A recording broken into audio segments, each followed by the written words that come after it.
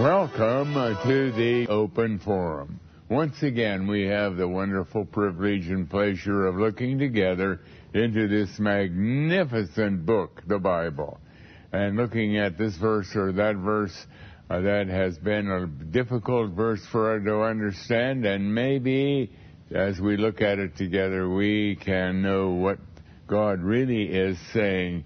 Uh, as we compare Scripture with Scripture, we learn more and more how to understand difficult verses. Uh, but this is your program. We want to hear from you.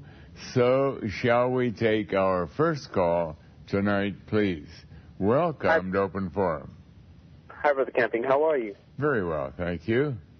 Pleasure to be uh, on the show and ask you this question. Um, my question today is in John 8, uh, 28. In John 8, yes, verse 28. John 8, verse 28. Then said Jesus unto them, When ye have lifted up the Son of Man, then shall ye know that I am he, and that I do nothing of myself, but as my Father hath taught me, I speak these things. Now, what is your question? My question is just uh, what is really Jesus saying when he says, Then you will know when you raise the Son of Man, um, What? to lift the Son of Man, then you will know that I am he. What does he really mean by that? Then ye shall know that I am He.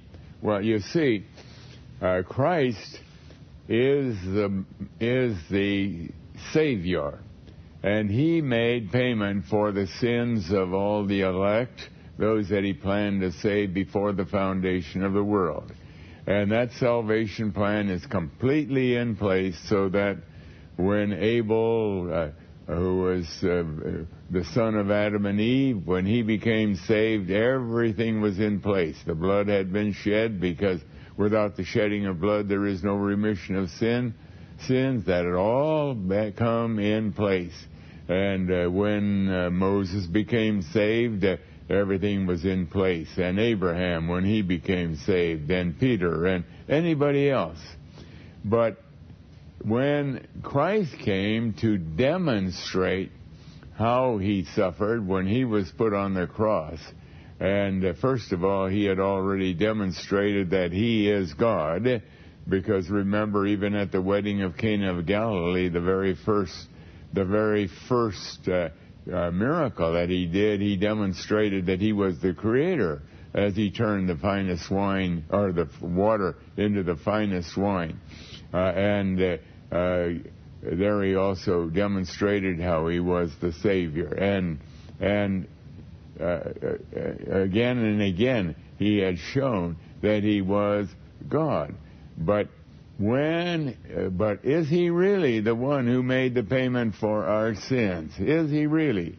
And when he was hanging on the cross and had become a curse, cursed is everyone who is put on a tree, and that, that or on the cross, and uh, he uh, he became that curse as he uh, as he uh, was hanging there, uh, and as well as the fact that they they stripped him of his clothing and and actually he was a dismal curse, which is required by the Savior in making payment for our sins because he had to become like we are. Uh, that is, those who he planned to save are under the curse of God. And then when he died and was put in the tomb, that demonstrated further. He is the Christ. He is the one who had made payment for our sins. He's demonstrated this as he was cursed in the eyes of all those who see him. And then he's put in the tomb and uh, and then on Sunday morning he is resurrected to show that the payment has been uh, he's demonstrating that the payment had been fully paid. Yes. But thank you. Um, yes. Oh, sorry. Uh, so when he says, Thank you. um, then you shall know that I am he, who is he that he's talking about? then you shall know who is he. Well, uh, you see, uh, that He is God, that He is He that, because the whole message of the Bible is salvation, is to somehow get relief from the horrible situation that prevailed when Adam and Eve rebelled against God, and there they, they became the progenitors of the whole human race, and so every human being is is under the wrath of God uh, and dead in his sins because of Adam's sin. And so, what is the whole human race looking for? Uh, how can we get right with God? How can we? And God declared all through the Bible that there is a Savior, that there is someone who would come and make provision. When when they offered the burnt sacrifices, they were looking, they were remembering or being reminded that Christ had become a, a burnt offering for them. He had come under the wrath of God. But who is Christ? Where, where is he? And when he came uh, to demonstrate that he was, uh, that he is the Savior, and as we look at him, first of all, as he uh, demonstrates that he is the creator and as and other things that he has demonstrated. Then, when we see him being cursed in the most terrible way, and then actually dying and being put in a grave, and then rising again, then we know he is he. that is, he is the Messiah. He is the Savior. He is the uh, great I am God Himself who would come to make payment for our sins. Wow. Uh, that's incredible. Thank you so much, Brother Camping. Thank you for calling and sharing. And uh, shall we take our next call, please? Welcome to Open Forum. Hi. Um, I have a question. I was listening to um, the end, the end time story, you know, uh, for May 21st which is on a Friday, and that is that Friday is supposed to represent the, the Passover. Is that correct? May 21st is on a Friday, and so is October 21st. There. Okay. Uh, well, it, my question is this: If it's on a Friday, are we oh, supposed oh, to prepare me. like a seder for that? I, I was. I'm not sure. I, I I don't think October 21st is on a Friday. Uh, because let's see, that's 153 days after, and uh, uh, let's see, if we divide 7 into 153, we get 2 and 1 over. So it looks like it would be on a Thursday when October 21 comes around in May 20 in uh, in 2011. Oh, so it's not on a Friday. But yeah. that is well, not. my question was that if if The- uh, May 21st was on a Friday, if we would have, if we should prepare a seder for that day. No, But but when not. Christ, when Christ is coming to complete our salvation by rapturing all, catching up all the true believers, and by uh, by uh, bringing the rest of the world into the first day of the day of judgment, that is not the Passover. The Passover was back on April 1 in 33 AD, and Okay. the May 21 is the date of the completion of what was what was demonstrated at the Passover. At the Passover, Christ demonstrated in April 1 of 33 AD that he had made payment for our sins, that he, uh, uh, as he hung on a cross. And then on May 21, 2011, the last part of what is required to prepare the true believers to be with Christ forevermore in heaven takes place because we all receive our glorified spiritual bodies. Okay, thank you. Thank you for calling and sharing. And shall we take our next call, please? Welcome to Open Forum. Oh, thank you, Brother Camping. Yeah. Um, uh, I just have two quick questions. Um, first of all, are you just for the record, where are you absolutely positive, no doubt at all about May 21, 2011? You're completely certain that that is the. I can't be more positive. I cannot be more positive. I'm absolutely certain. And uh, if you want to see a man that's got his neck out, it's me because I've said this repeatedly and repeatedly, and uh, and yet, and I'm because I'm utterly convinced. In fact, I would be sinning. I would be t- uh, rebelling against God if I simply said maybe or uh, that's a high probability and it might not happen. I don't dare talk that way. I must, absolutely must declare it is going to happen on that day. Okay, and my second question is I, I believe you and I believe the Bible. I've been reading your books a long time. Um, the problem is, Harold, is that whenever I, uh, nobody is listening to me. When I try to share with them this information, they tell me that I'm crazy and that um, I, I belong in a mental institution and um, nothing's going to happen. Nobody, uh, well, just, no one's listening to me. well, join the party. You know, we get callers on this program that uh, don't don't believe it at all uh, and that's because they are not familiar with what the Bible is teaching. They are listening to their own minds, and they think that what their thoughts are giving them, uh, their understanding from their own brains, they think that they can figure something out, but they're really pitting their teeny, teeny little intelligence, which is all that any of us have, against the infinite intelligence of God.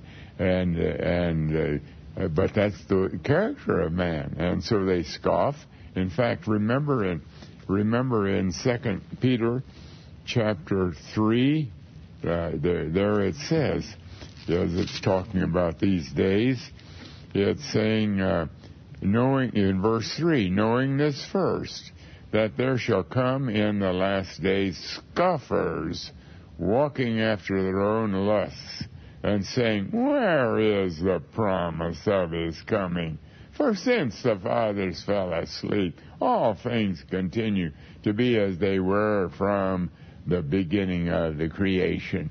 God, God is full. God prophesied this 2,000 years ago that this is what they would be doing in this day. So we shouldn't be at the slightest bit surprised. Well, thank you, and God bless you, and we love you very much, Harold. Thank you for calling and sharing. And shall we take our next call, please? Welcome to Open Forum. Yes, uh, Matthew 12, verse 32. Matthew 12, verse 32. There we read. Uh, and whosoever speaketh the word against the Son of Man, it shall be forgiven him. But whosoever speaketh against the Holy Ghost, it shall not be forgiven him, neither in this world nor in the world to come. Now, what is your question? Okay, um, Jesus, God, and the Holy Spirit, as I believe, is one. So how can one be more devastating than heaven forbid Jesus Christ or our heavenly and holy Father. Well, uh, this this particular sin is uh, is spelled out for us in the Gospel of Mark. The uh, uh this relates not to just uh, any kind of blasphemy. We can blaspheme God, but and and be forgiven if we if we finally become a child of God, but the, the scribes, the theologians of the church of Jesus' day, of the, of the nation of Israel, they believed with all their heart that Christ was under the power of Satan rather than under the power of God or uh, under the power of uh, the Holy Spirit. And they, of course, the last thing they would ever want was to think about Christ as their Savior. They they they wanted nothing to do with him because in their honest judgment and uh, they believed that he was of of uh, Satan, and God in that context says, if any if uh, if anyone has blasphemed the Holy Spirit, there is never any forgiveness, and that is this particular sin that this verse is addressing.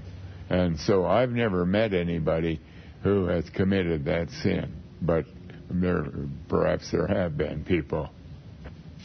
But there certainly were the scribes of Jesus' day, and they they were in trouble at all by what Christ is saying here, because they thought he was he was of Satan anyway. Thank you. Can I have one more question concerning Proverbs, the book of wisdom? Proverbs 17, verse 24, and I'll be done. Thank you so much, Dr. Camping. Proverbs 27, 24, and forget the word doctor, because I'm I'm not a medical doctor, nor a theologi- theological doctor, nor anything. I have a I have a full time uh, project just caring for me and my wife and trying to uh, continue to be in health as long as possible by God's mercy. But, I okay. wish I could be one percent of you, sir. I love you, but no disrespect. I would like to listen to Proverbs 17, verse 24, and I do love you. Wisdom is before him that hath understanding, but the eyes of a fool are in the ends of the earth. Now, what is that saying? This is parable language, of course. The parable? Uh, wisdom is before him that hath understanding. Now, to have understanding means that you are a child of God and got your spiritual eyes open to begin to understand the truths of the Bible. And therefore, you can be called wise, not because you're wise in yourself, but because God has given you the wisdom of, of understanding. But the eyes of a fool are in the ends of the earth. Uh, actually, you know, mankind really finds his hope, his, uh, his security, his everything not in a God that they can't see and uh, that people are talking about, but in this earth itself. I, in fact, I, I remember when I was in grammar school, I went to public school and I learned all about Mother Earth. Mother Earth. Not about God who created the earth, but Mother Earth. And uh, that, uh, and so that's why today, for example, there's a lot of hysteria about uh, about uh, global warming, warming and such things because Mother Earth, their God, their God is wearing out. It's not. It looks like it's going to die, and we've got to do something about it. It is their eyes are in the ends of the earth. They are looking at everything in the earth uh, uh, to find their hope and their desires and so on but not at all upon the God of the Bible. But well, thank you, uh, Mr. Camping. I, uh, like I said, if I could be one percent of your wisdom, I would have something. And I truly love you, and I truly believe in what you're teaching. May we all be raptured today on that day. Well, Peace be you. with you, my friend. Thank you for calling and sharing. And shall we take our next call, please? Welcome to Open Forum. Hey, Brother Camping. I've got uh, two questions. Um, one is related to um, the rich man and Lazarus. Um, I understand what you talk about if, a, if uh, an unsaved person, once they die, they cease to exist. But in the story of the rich man and Lazarus, how is it that if the rich man being unsaved, um, isn't he in a place of hell? Well, because that is a parable. That is not an actual happening. God, in that parable, is teaching us a number of spiritual truths. One oh, truth that is that what is happening in this world, uh, as we look at it, doesn't tell us what the what really is happening. The poor man, Lazarus, looked like he was scum. He looked like he was nothing. He looked like he was uh, uh, uh, uh, not even worth thinking about, and yet he was the one who was a child of God and ends up in the bosom of Abraham, which is a figure of speech to be under the perfect care and keeping of God forevermore. On the other hand, the rich man had everything going for him in this world, and he looked like he was a wonderful child of God, and he, uh, uh, he, by the language that he was clothed in purple and so on, and uh, and uh, yet he died, and then it says he was buried, uh, and then in hell. Now, uh, when you're buried, you're dead, but right there, God is as, as is speaking about him as if he's still alive, so that he can teach some more principles. And there we see that he is uh, his great punishment is that he sees uh, Lazarus in the bosom of Abraham, and he's in the grave, whereas it should have been just the reverse in his mind, and that was a horrible, terrible torment to him.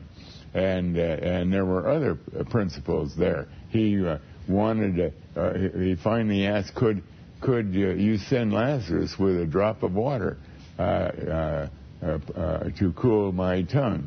And that's like saying, oh, if, if, only I could have just a little bit of the gospel, a little bit of the blessing of the gospel throughout eternity. But no, the answer comes, nope, nope. You've had your time in, uh, when you were alive, but now it's all over, all over. There's a great chasm. There's no way that the mercy of God can come to you any longer. And there are other principles that are offered in that parable. I see. My other unrelated question is um, in regards to May 21 of 2011. Um, seeing that, um, um, well, I lost my, my question. Oh, my question was that um, do you think that um, when May 21 comes along, like every every true believer has to believe that May 21, 2011 is is the day in order to be raptured, or there'll be people unaware of May 21 but yet still be raptured? I have no idea about those things, but I do know that if we uh, if we hear about that, and then if we say, well, maybe it could happen, maybe it could happen, it it kind of makes sense. Are we really trusting the Bible? The answer is mm-hmm. no we're listening to the Bible, we think, yeah, it's possible the Bible is true, but we're not really ready to agree that the Bible is the infinite Word of God and uh, infallible Word of God and, and is absolutely trustworthy. And so I'm afraid that those who are just saying, well, maybe, maybe it'll happen, it could happen, I'm afraid for them. I, I'm afraid that they're going to be going into the day of judgment because those who are true believers, that's the characteristic of a true believer, that they really trust the Bible implicitly because they know that was written by God. It came from the mouth of God. And, uh, and so uh, that's, that's what we're going to listen to. But All right, great. Yeah, yeah. I've I've read your work and I've checked it, double checked it, and triple checked it. And man, let me tell you, it is accurate. It doesn't get any more accurate than that. Well, thank you for calling and sharing. And shall we take our next call, please? Welcome to Open Forum. Hello, Brother Camping. Yes. How are you doing tonight? Very well, thank you. Um, I got a question for you right now. Um, what language will we speak in heaven? I have no idea. We'll be speaking a language that uh, that is that is the language of God, but what that is, I have no idea. As a matter of fact, we're going to flesh and blood does not inherit the kingdom of God. The Bible tells us. It means that we will have spiritual bodies. What is a spiritual body? I haven't the slightest idea. Uh, but it's going to be quite different and infinitely more glorious than our present body. So there's a lot of wonderful surprises that are going to come our way if we are raptured. But yeah, I was just wondering to know that because um, I've been getting many questions on it and stuff like that. And um, thanks for clearing that, buying that for me. Well, I'm, that's the best I can do to help you. And shall we take our next call, please? Welcome to Open Forum. Well, Yeah. Yes, go ahead with your call. Welcome to Open Forum. The number is 1 800 322 5385. 1 800 322 5385. Good evening, Mr. Camping. How are you tonight? Very well, thank you. Glad to hear that. Mr. Camping, I called you two weeks ago and I asked you a Oh, question, but excuse wait, me. wait, wait. Oh, But- excuse me. Uh, you know, we have a rule, and maybe you didn't know about no, it. No, but Mr. Camping, I know we- your we rule. I understand uh, it, well, but you didn't answer my excuse me. question. Excuse me. You called two weeks ago. Please wait for two more weeks and then call and then ask your question all over again. But we can't. We if we begin to make exceptions, then the next one and then the next one, and there are so many people trying to get into this program. There are people who've been trying for six months to trying to get in, and we have to leave it, leave a little room open for them. I'm sorry. And shall we take our next call, please? Welcome to Open Forum. Welcome to Open Forum. Hello? Yes, go ahead with your call. Um, yeah, the the last person or two people ago that called was questioning about the rich man and Lazarus, Yes, and you said that it was a parable. yes. Well, how are you to distinguish which stories are parables and which ones are not? Well, we have to distinguish them by the way the story is written, or where the how the way the history is. We we uh, first of all learn more and more about what the what the spiritual message of the Bible is, and then we see that God God uh, declared that to us in various ways, in parables, for example. Now, the fact that a man is in the grave and then he's speaking to somebody in heaven, that automatically indicates it has to be a parable. But there's equal stories that have just as awkward circumstances that are I'm sorry, not we have, parables. I'm sorry. We have to pause for a moment. I'll be right back with you. We're continuing with the open forum, and shall we take our next call, please? Welcome to Open Forum. Oh, hey, hi, Mr. Camping? Yes, go ahead with your call. Yes, Mr. Camping. I'm just curious to where, with all due with all due respect, where does the Bible suggest that we formulate a timeline uh, to predict uh, when Jesus will return? I just never came across that, and I was just wondering if you can help me with that. Well, for, to begin with, you look in Ecclesiastes chapter 8. We find a surprising statement in a surprising place. Uh, uh, we find in Ecclesiastes 8, verse 5 Whoso keepeth the commandment shall feel no evil thing. That's, we can understand that. Those who are uh, true believers, they want to do the will of God, and their sins have all been paid for. Then it goes on, and a wise man's heart, and in this context, the wise man is anyone who is a true believer, uh, uh, discerneth or will know both time and judgment, because to every purpose there is time and judgment. Therefore, the wickedness, not misery, but the wickedness of man is great upon him. Now, this is a very, very unusual statement because here it is saying that somehow, sometime, there's going to be a time when a true believer, because that is the heart of a wise man, will know time. And you know, the people all through the history of the world have tried to figure out the date of creation, the year of creation, and have absolutely been unable to do that until our day.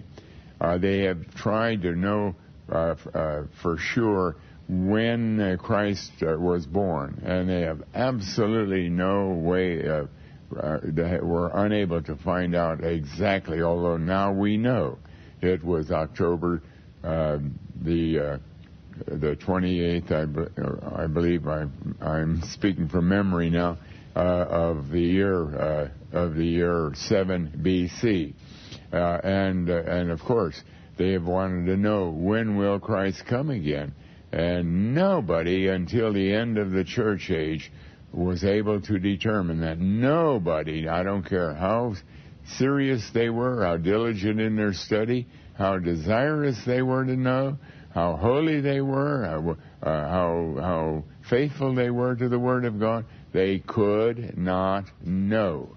But once we get past the end of the church age, uh, as we understand the timeline uh, uh, as it's developed from the earlier years all the way progressively toward the end, we get to the point where we learn that uh, on the first day of the Great Tribulation, which began in on May 22, uh, May uh, 21 in uh, in in uh, 1988, that God opened the seals of a book that had been already written and put in the Bible over 2,000 years ago uh, to the prophet Daniel, and he had been told to to seal it up, and it was to be open at the time of the end. And uh, now that it's been open, my my, we found just information after information that the church had never uh, and no theologians had ever known about because that is God's plan that now in this end we will know time and judgment. And these things we're learning all have to do with with the judgment process of the end have to do with the timing of the end. And indeed Ecclesiastes chapter 8 verse 5 and 6 have really come into uh, full, uh, uh, full, uh, uh, uh, full uh, evidence in our day. I really appreciate you spending time explaining that to me. Thank you, Mr. Camping. Thank you for calling and sharing. And shall we take our next call, please? Welcome to Open Forum. Hi, Mr. Camping. Thanks for taking my call. Yes. I had a couple of uh, statements to make and let you then comment on them. Uh, first is uh, the caller who called in about the parable of the rich man and Lazarus who uh, was suffering in the, the torments of uh, Hades. Uh, that parable or story, whatever it was, plus the other allusions that Jesus makes to the torment of the wicked, uh, they will be punished with an everlasting torment. They will be punished with everlasting punishment. Uh, fire is one of the allusions he uses. One of the metaphors is, of course, a worm that never dies, a fire that's not quenched. Outer Well, darkness. excuse me. Yes, sir. Oh, Yes, sir. Excuse me. I want to interrupt something. You know, that word torment used in uh, Luke 16, yeah, one thing is, when we read the Bible, we uh, we don't just wave our arms and just kind of make generality, a general, uh, I, I bring our general ideas to bear on it. We have to search the Bible and compare Scripture with Scripture, and we've learned that every word in the original language was written uh, from the mouth of God. It is absolutely carefully designed. Everything in the Bible is very, very carefully designed, and we've learned that the Bible is its own dictionary. And that word torment, I'm tormented in this flame, and uh, it's used once more in that parable, uh, is only, is a Greek word that's only found two other places. And in both other places, it absolutely is, is talking about being saddened uh, because the, uh, someone is afraid that they'll never see a friend again or a family member again. And uh, so we have the definition. Uh, I am saddened in this flame. And now we search the Bible. Why does it use the word flame? Because we read in Hebrews chapter 13 that God is a consuming fire. And, uh, and so any judgment is under the heading of fire. But But when uh, but when you're saddened, you're not burning. You're you're just saddened, and yet that is the chief focus of the suffering of this rich man. He is utterly saddened, and we why was he saddened? Because he saw his uh, friend Lazarus, who he was not really his friend. It was just that that poor that poor wretch that was out there and is by the gutter of his of his palatial house, uh, where he was. Uh, the dogs licked his sores, and where he ate out of the garbage pail, and uh, but he didn't realize that this Lazarus was a child of God, and now he sees him in the glory of God forevermore, while uh, while he is in the grave. Where he is, he, it, it, which means that he is never going to uh, uh, receive that that wonderful glory of being forever with the Lord Jesus Christ in the new heaven and the new earth. And this was a blow of a serious proportion to him. This is what he was counting on. He was a great man in this life, and he's going to be a lot greater when he's going to rule over the other nations or other whatever God wants him to rule over, and he's going to be co-heirs with Christ of the new heaven and the new earth. And now he finds not. He won't have any of that at all. And it was a fantastic a blow to him so that he's saying, I'm tormented in this flame. That is, uh, that is going to be, incidentally, the chief, the chief concern, the chief anguish, the chief unhappiness of the, of the church people who will go into the day of judgment. They're going to see others that they uh, thought couldn't possibly be a, they were never part of the church or anything and they're seeing them being raptured uh, and they themselves are left behind and the bible tells us they too will be angry angry angry they will be weeping and gnashing their teeth that's a figure of of yelling and screaming at god and they won't cease until they're dead because they, because they will die during that day of judgment. But thank you for calling and sharing. And shall we take our next call, please? Welcome to Open Forum. Hello, Harold. Yeah. Yeah. Uh, the the why they're confused is that word is sorrowing instead of saddening. It's sorrowing. You keep saying. Sorrowing. Yeah, that's instead of sad, saddening, it's sorrowing. When you look it up in the oh, Strong's. sad. Are we are saddened? Yeah, but oh, oh, the word is sorrowing. Yeah. Okay. uh, I'm sorry. I, I, I, I do confuse that. yeah, I know. it I hear it all the time, but it, it, It is anyway. the word sorrowing, but that is very close to saddening. Yeah, I understand, but I I heard a guy call you the other day, and he was he he didn't he he was looking up the word saddening, I think, and he he was uh, uh he he got confused when uh, Oh, I'm so grateful that you called. You know, if I didn't have your kind of people to keep me straight, where do you think I'd be going? could you look up uh, uh Acts five fifteen, please? Acts 5, verse 15. There we read, Inasmuch that they brought forth the sick into the streets and laid them on beds and couches, that at least the shadow of Peter passing by might overshadow some of them. You know, you know, I used to hear that people used to say that his shadow was healing people. What is, what is this verse saying? Is that It doesn't say that at all, does it? right? No, it doesn't. But No, I've it heard that. doesn't at all. So that's that's a a, a, a, a fallacy, Yeah. right? Yeah, in other words, the people were so became so trusting in Peter that they were hoping that even the shadow of Peter, but it doesn't say that that healed anybody. Right. Okay. Thank you very much, Mr. Thank Samuel. you for emphasizing that. And shall we take our next call, please? Welcome to Open Forum. Yes, Mr. Camping. Yes. Um, I'd like you to read uh, John 6, 37 through 40. And then I'd like Uh, to ask. J- John chapter 6, verse 37 to 40, there we read, All that the Father giveth me shall come to me, and him that cometh to me I will in no wise cast out.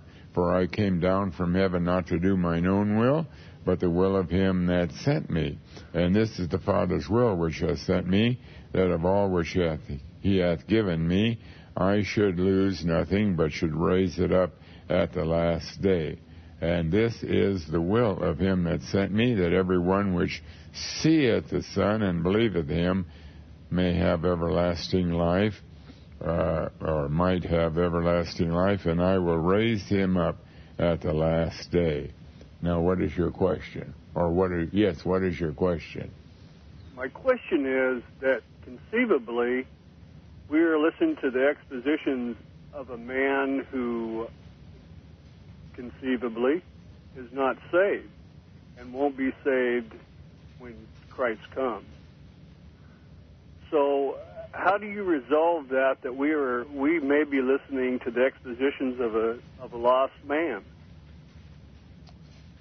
A man who is not saved. We may be listening to the You. exposition of. of a man who is lost in the final day. Unless you have assurance that you will be saved, Well, this this this is simply discussing what salvation is. I came but down. that is my question to you. We we possibly could be listening to a man who is a lost man. Uh, who's the, uh, what man are you talking You, about? I'm talking about you. Unless you have assurance that you're saved, Oh, well, the problem is, is what I am teaching is not a function of whether I am saved or not. It's a function of whether it is being faithful to the Word of God. People ask me from time to time, "Am I saved?" And I have So to in other answer words, that. we but excuse me, excuse me, that is not the issue. The issue is, is the Bible? Are we faithfully teaching what the Bible teaches? That is the focal point, the proof, uh, the uh, everything that is worth anything is the Bible itself, not what comes out of my mouth, but what does the Bible I- say? I believe it's all tied together, Mr. Camping. I believe it's all tied together. Uh, what, what do you have to say about verses uh, 36 through 37 through 40? Sounds to me like we're all predestined to be saved. It's a matter of choice. Well, it may that may excuse me. believing. That that may be your conclusion, but when we go through the whole Bible, like for example, the Bible says, "No man cometh to me except the Father draw him." It looks and to me like excuse me, and the whole, and we find that that uh, uh, the vast majority of all the people will end up under the wrath of God, not under the blessing of God, and uh, and uh, we find that. Uh, that uh, nobody, the Bible, like, like, let me just read, for example. There, there's a preponderance of evidence, though, that we all we need to come to Jesus and believe and follow Him. Now, you're right. The majority of people won't be saved in the end because they'll reject the Lord.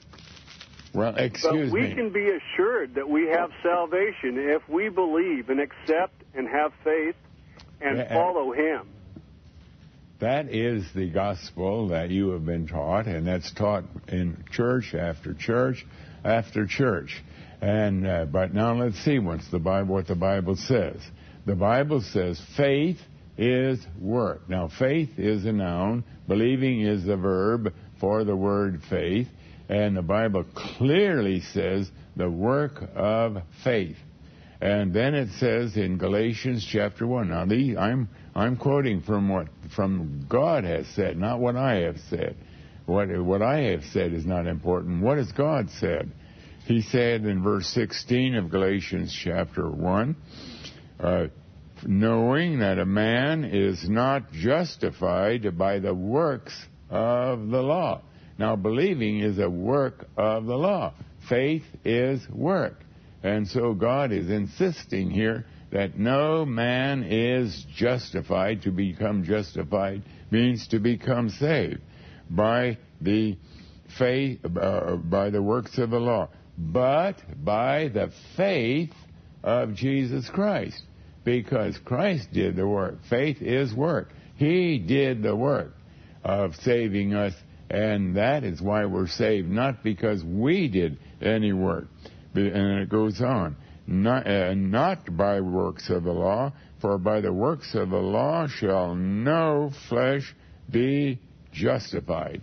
And so you can you can uh, believe, you can argue, you can jump up and down and say, oh, "But I believed, and therefore I find verses that say that I uh, uh should therefore be saved." But the fact is, no. If you're trusting in your the fact that you have believed, you're trusting in work that you have done. And there are other passages that the Bible teaches that if you are trusting in any work of your own, you are absolutely not saved at all. And that's the horrible, horrible situation in every church today. They are teaching a gospel that is leading men to uh, the judgment day. They they are they do not understand that that we cannot trust in anything that we have done. They they you have been taught to trust in your water baptism, and your confession of faith, in uh, all of these things all help and get and your church membership and becoming saved. And all of this is contrary to what we read right here in Galatians chapter 1.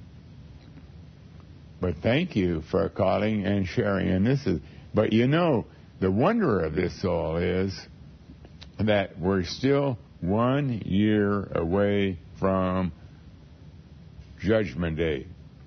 And Nineveh, in the days of Jonah, was 40 days away from, from being destroyed and yet they cried out to God and they sat in sackcloth and ashes and they plead, pleaded with God, is it possible that you might change your mind? And they did at that late time with such a tiny little knowledge of what the Bible is teaching, did become saved. We have that information given to us in the Bible. Now, here we have a year, and if I were thought I was still unsaved, I would be praying every time, again and again and again.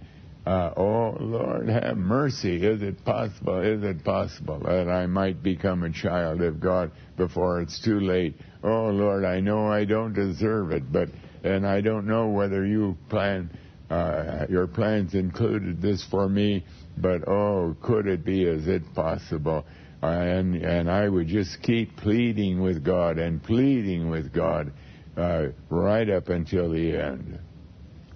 But thank you, and there is a great multitude. There are uh, a large crowd of people that are being saved in this day. The Bible absolutely assures us of that. We know that beyond a shadow of a doubt, and uh, and my that that is wonderful. That that amongst those who are crying out for God's mercy, there will be uh, uh, a number of them that are becoming saved at, right at this last time. That is the glorious news that we can set, shout forth uh, at this time in the history of the world, along with the dismaying news that the end is only a year away. But thank you for calling and sharing. And shall we take our next call, please? Welcome to Open Forum. Yes, Harold? Yes. Uh, the last caller that seemed to be disillusioned by the fact that he thought everyone would be saved. You could have answered his question with the verse that he gave. Uh, verse 37 of John 6, all that the Father giveth. He didn't give Christ all the names, just the ones he chose. Yeah, well, the, the, uh, the, verse he gave you, you could have answered him. Well, yes, but he, you know, he wasn't saying that everyone would become saved. He was saying that what the churches teach that it's up to you. You can become saved potentially, anybody can become saved. He was not saying that everybody would become saved. But thank Well, I- you for your input. I believe that was the impression he had, but anyway. Thank Thanks. you. And shall we take our next call, please? Welcome to Open Forum. Brother Camping? Yes. Uh, uh, an earlier caller talked about uh, what day of the week the last on May 21st would land, Yes. and it lands on uh, Saturday. Or it And- lands on uh, Saturday. You, you're- I, oh, I checked the calendar. I got a calendar to check off each day. And October 21st is on a Friday. October 21st is a oh well I uh, but May 21st you know today is the 7th today is the 7th and uh, well uh, uh, okay I'm talking I- about 2011. I, yeah, did yeah, I yeah, yeah, yeah, yeah, yeah. You're right. Mm-hmm. So I think you're correct. It lands on Saturday and Mm-hmm. May 21 uh, and October 21 on Friday. Correct. Yeah, I, uh, that's the end of the week. Saturday is the end of the week, and it's the end. It's again the fulfillment of a of a period of seven. Seven. Uh, uh, the last the Saturday is the seventh day. It's seven thousand years after the flood, and so on. Okay, and thank you for your wonderful work. Thank you for calling and sharing. And shall we take our next call, please? Welcome to Open Forum. Yes, good uh, evening, uh, brothers um, camping. The gentleman that called that was so sure about uh, everyone was going to be saved. How about Ephesians chapter two, verse eight? Oh, well, uh, yes, there are a host of verses that could Yeah. be offered, but that's a But beautiful verse. It Ephesians is. 2, for by grace are ye saved through faith, And a not gift of of- yourselves. Yeah, It is the gift of God. yeah. It is not of yourselves, it is the gift of good God. And thank you for sharing that. You bet. Thank you for your time and bless you. And shall we take our next call? Please welcome to Open Forum. Hello? Hello. Yes, welcome. Yeah, so I want to know what is going to happen to sincere people that are Catholic, Christian, Jehovah Witness, Mormons, and that do believe in Christ. Well, all those in the churches, because they are trusting in their church or their doctrines of their church, and they're not trusting in the whole Bible. And that really is what the true gospel is to really believe that every word in the whole Bible is the word of God and and I trust it implicitly. And if we're there there are all kinds of chapters in the Bible that they know nothing about, they don't want to know about it, they are satisfied with trusting their church and the Bible emphasizes they will be entering the day of judgment. It will be a the most terrible, terrible, terrible day for all the churches that anyone could ever imagine. Uh, and that's why we're hoping that at least a few people from the churches will uh, have their eyes open before it's too late and and recognize that they have to listen more carefully to the whole Bible. But thank you for calling and Thank- sharing. And shall we take our next call, please? Welcome, Open Forum. Yes. Uh, my my question to you is, why are you teaching something that is totally contradicting to the Bible? You, the Bible says that no man knows the time, neither the date when Jesus is going to come, and you already have a day set up for it. Why? Why are you teaching that for?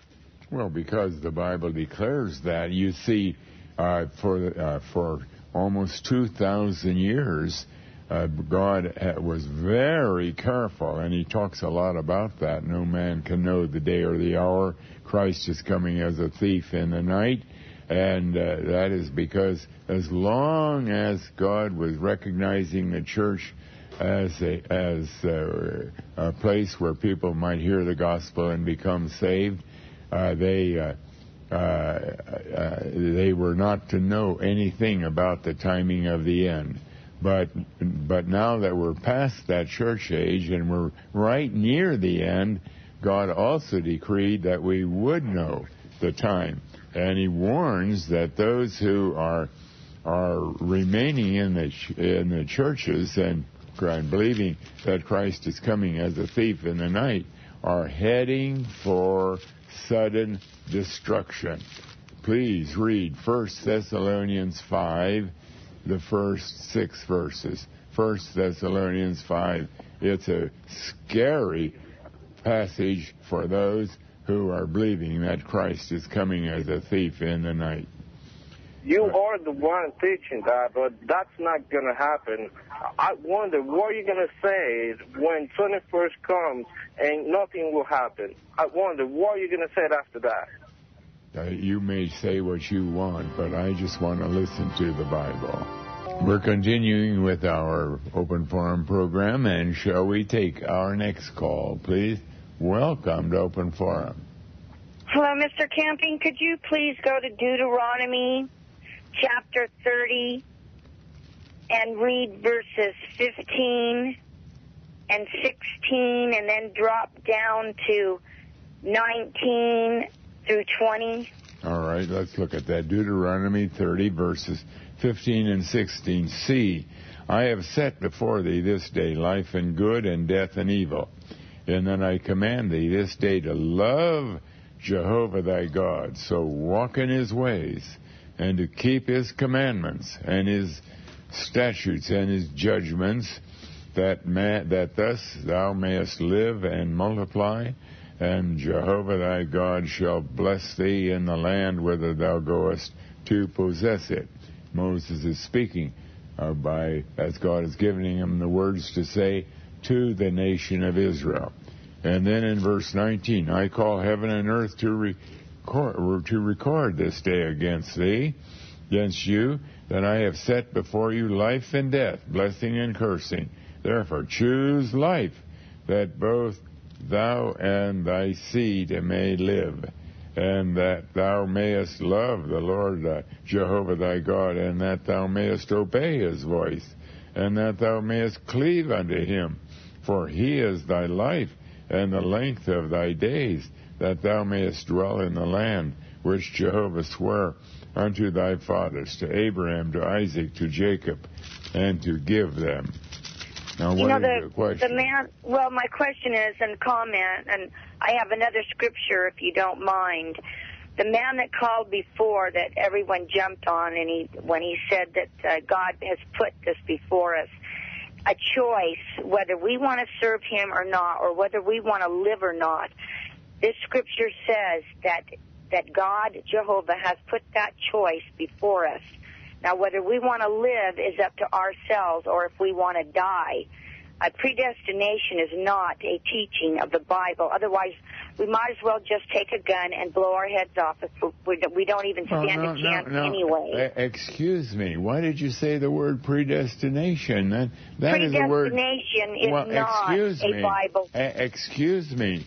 Look at Ephesians chapter 1.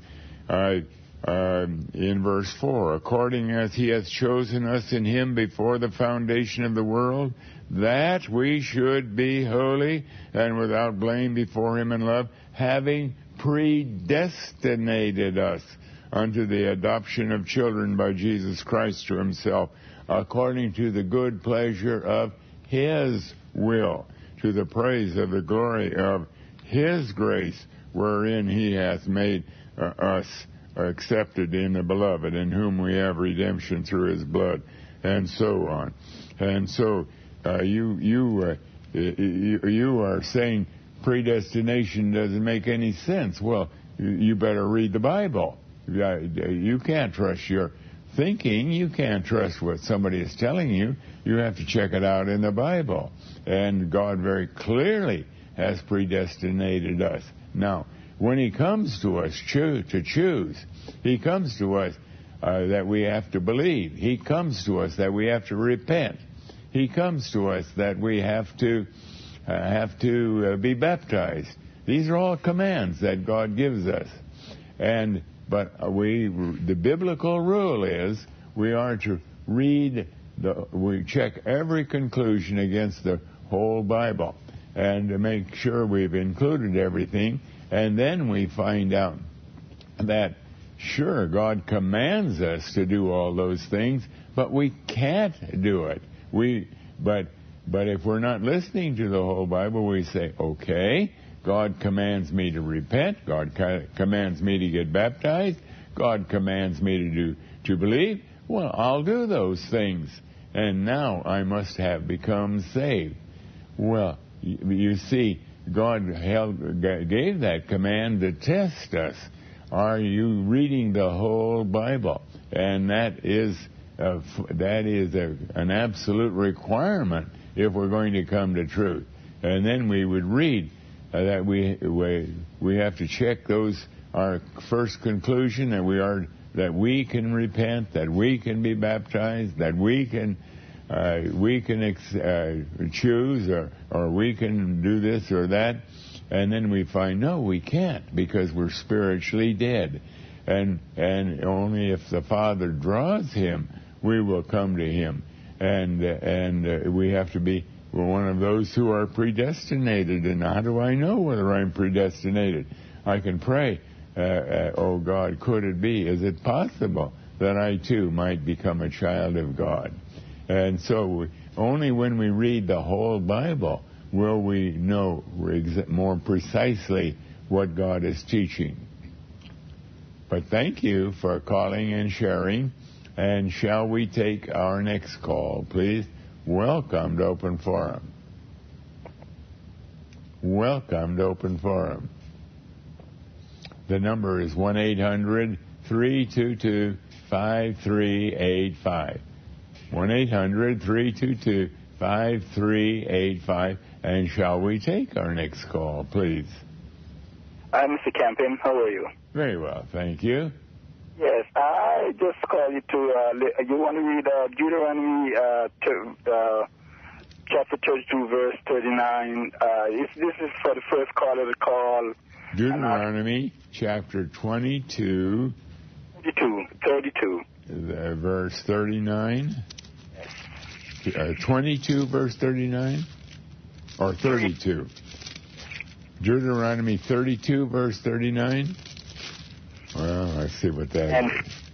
Uh, there we read, there we read, uh, See now, I, even I, am He, and there's no God with me. I kill, I make alive, I wound, I heal, there is there any that can deliver out of my hand? Uh, and uh, the fact is, uh, no.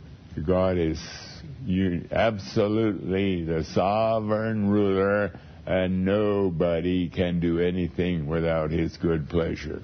Yeah, this was the first caller that wanted to find out why Christ said, you know that I am E, and when I, you know, when you lift me up, you'll know that I am E. This is to say that Christ, he, Christ is eternal God, and you know, I mean, you know, you got to read the Bible to find out that when he said, "I am He," this is what he's talking about. That He's eternal God, and Thank nobody. you. Thank you for calling and sharing.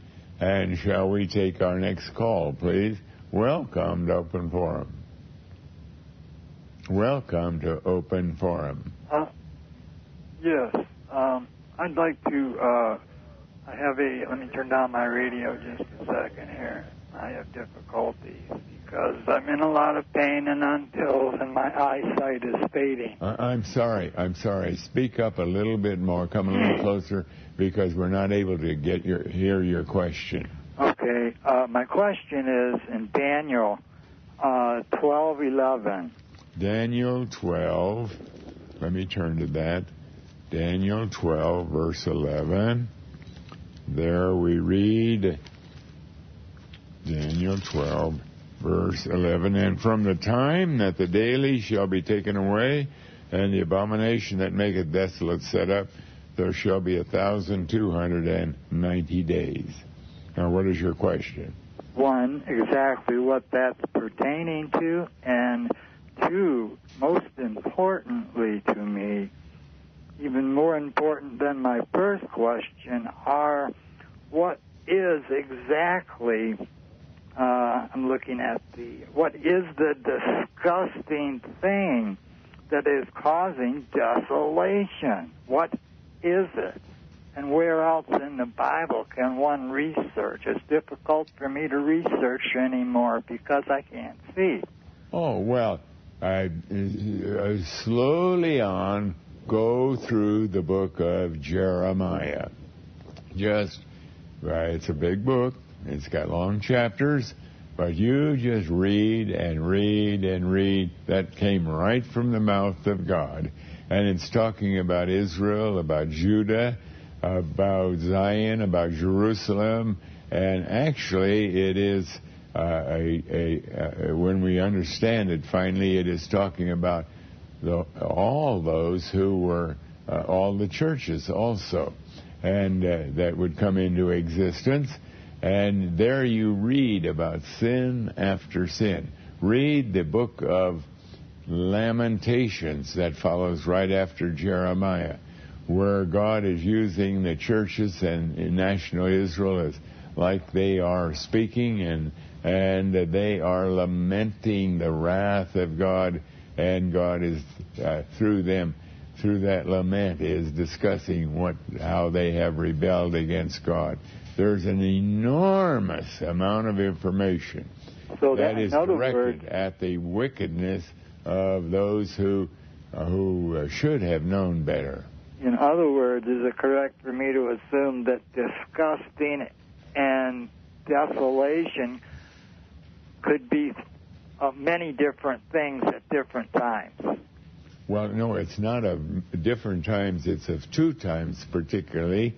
One is the the uh, uh, there there were two major programs that the Bible has a lot to say about. One is the 1480 day, uh, 80 year period. It's an inclusive period. Period uh, when God looked upon the nation of Israel as the external representation of the kingdom of God, and that began in the year 1447 BC, which uh, when they left Egypt to go uh, to the land of Canaan and possess that. And the other big piece of, of, of organization is that which began in 33 AD when 3,000 are saved, uh, when the Holy Spirit was poured out, and that marked the beginning of the church age, when God would be sending the gospel for the next 1955 years all over the world, uh, and uh, and there would be millions of churches uh, founded uh, in uh, in every country. There would be churches, uh, so that today about two thirds of the world's population have some relationship with a church that claims Christ as their Savior. And these two major periods are what is in view in the language of judgment in Jeremiah, and uh, especially, although when you read Jeremiah 25, it also uh, makes a, a, a, point also of, of other nations that are outside of the nation of Israel and outside of the church age, but uh, but most of the time it is dealing with the with the, these two major periods of time uh, because they are the ones who had the Bible. They are the ones who right. should have been closest to God, and yet uh, God is just emphasizing how horribly rebellious they were against God. And just a, what's that quick reference on that same scripture for the uh, one uh, uh, the one thousand two hundred ninety days? Yeah, no, that is related. That is definitely related. First of all, God frequently uses a day as a year, and uh, and therefore we are uh, are able to know that we can look at this when we search the Bible for anything that happened 1290 days apart. We cannot find anything at all. But when we start searching the Bible, uh, utilizing a day for a year, uh, which God does allow, then we have 1290 years uh, between events. Then it, it fits in very perfectly. Uh, because in the year 1877, uh, Jacob and his whole family, that was the beginning of the nation of Israel, uh, although it was uh, way, way early, 430 years before the official beginning. But nevertheless, that's where the nation of Israel came from. And they came into Egypt at the command of God to escape a famine, a huge famine in the land. And uh, that typified what the Bible later on speaks as a time of great tribulation. It was a famine of seven years' duration.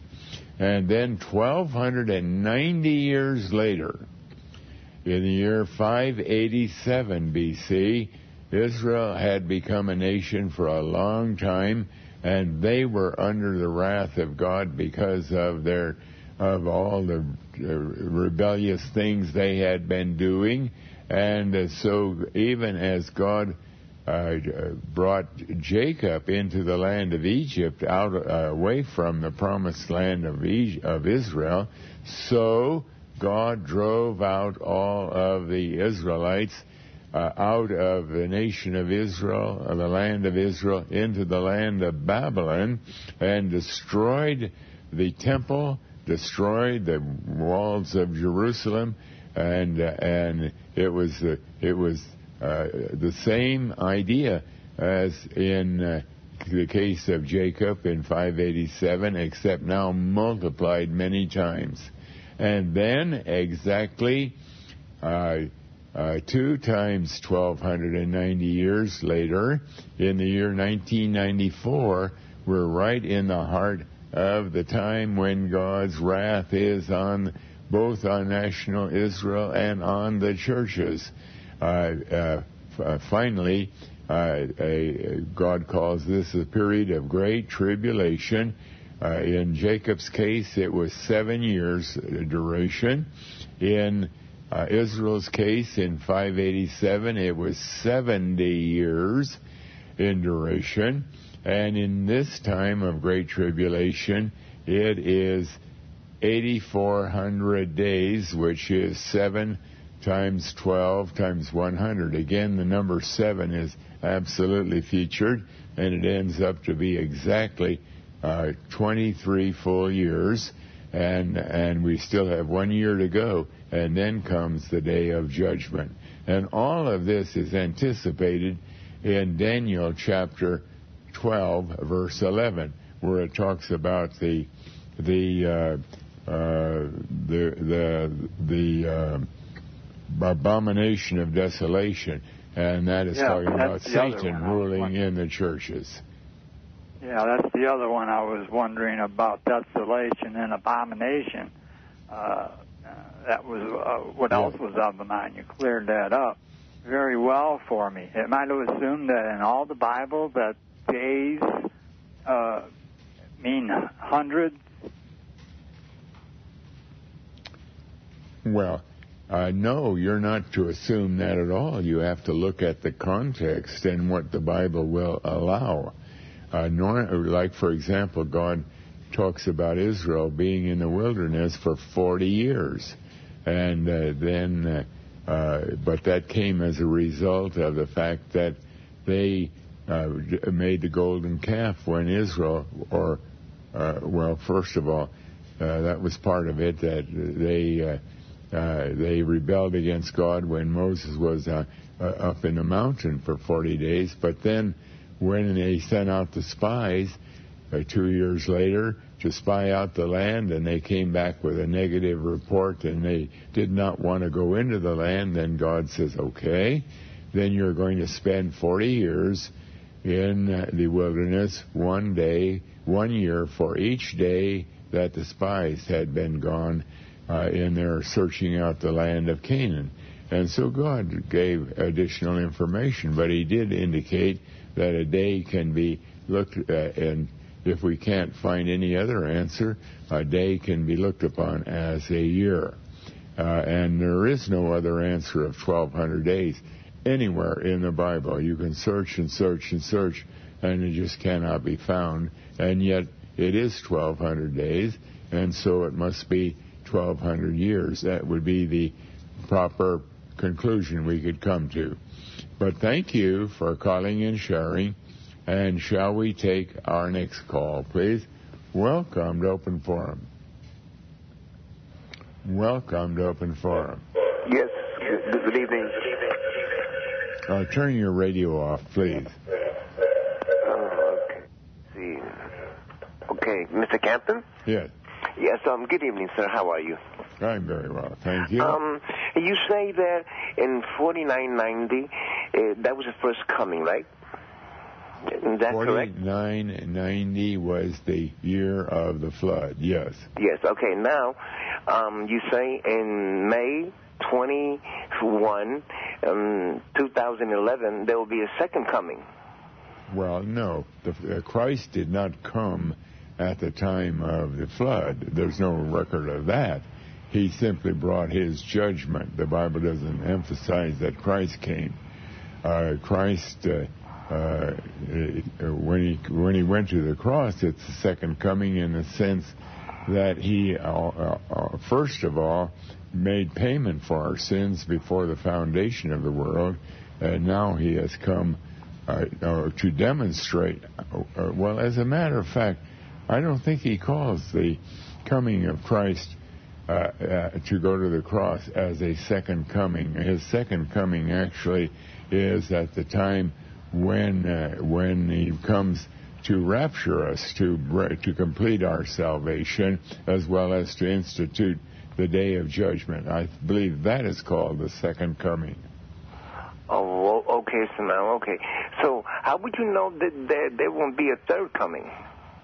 Well, because everything is wrapped up when we when the when we we as we see what happens uh, when the rapture occurs and when the day of judgment comes. There's nothing more the Bible talks about. There's nothing that comes after that. We have to find the. Uh, we have to listen to the Bible for information, and if there's no information, then we can't talk about something. Okay, th- thank you, Mr. Campton. Appreciate it. God thank bless you for calling and sharing. And shall we take our next call, please? Welcome to Open Forum. Uh, hello. Could Yes. you read Ephesians chapter 2, verse 16? Ephesians chapter 2, verse 16. There we read uh, that he might reconcile both unto God in one body by the cross, having slain the enmity thereby. Yes. Now, what is Um, your question? My question is, what do they mean by the cross if, if That's a Christ very, very good question. A very good question. We read in Galatians chapter 4, where we read uh, in verse 13 Christ hath redeemed us from the curse of the law, being made a curse for it, for us, for it is written, Cursed is everyone that hangeth on a tree. Now, God uses the word tree or cross interchangeably. It's talking about the same thing. Uh, and yet, here he is emphasizing that the p- problem of sin is that we came under the curse of God. And Christ had to become a curse in order to make payment for our sins. And here we see him demonstrating that he had become a curse because he's being he's nailed to a cross or to a tree. And so when we see the word cross or tree in this kind of a context, we know that it is speaking about curse. And that's why in the uh, passage that you are reading, now let me see, what was that verse? In uh, 16. uh, uh, I'm sorry, Ephesians 2:16. Ephesians 2.16, yes. Yeah, Ephesians 2:16, we read there,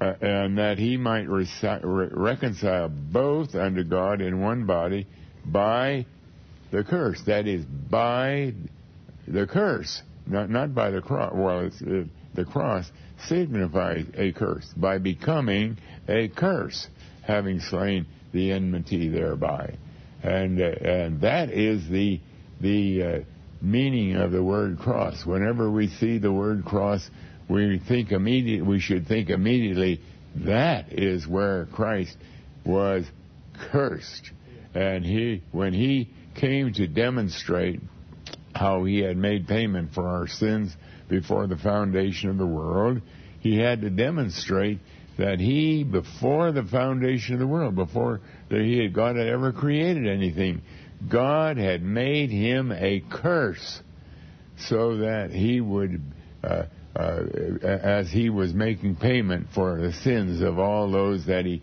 planned to save. They were under the curse, and now God took that, Christ took that curse upon himself.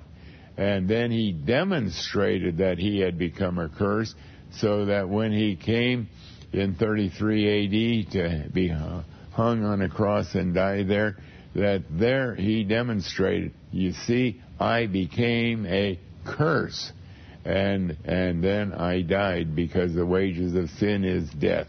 And in that way I made payment. Uh, that, that shows how I made payment before I ever created the world. Um, I know in Revelation 13:8 it says that, that that's a, a key verse for understanding from the foundation of the world. Yes. Um, Christ's suffering. Couldn't that be um, referring to the names written in the book rather than the lamb slain? That the names were written in the book rather than the lamb was slain from before the foundation? Well, uh, what, what is that? Well, I, I still didn't get your question. Um, where it says that that from the foundation of Yes. the world, and we say, okay, we understand from that verse that Christ was slain before the foundation of the world. But I'm saying, couldn't that sentence be referring to the names written in the book of life? Oh well, we that also happened. That we our name, you know, God uh, before He ever created the world, He did He did all the preparation and all the work required to provide salvation. First of all, He had to have before Him the names of the billions of people that would eventually become born. Then He had to select the names that He uh, planned to save, uh, the people that he planned to save, and he wrote them in the Lamb's Book of Life. And then he uh, took their sins, he because he knows the end from the beginning, and they were laid on him. But with that, I have to say good night because we've come to the end of our time. Good night.